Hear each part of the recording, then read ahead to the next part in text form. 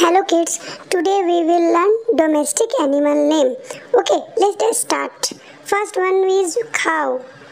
Cow. Next is sheep. Sheep. Duck. Duck. Horse. Horse. Horse.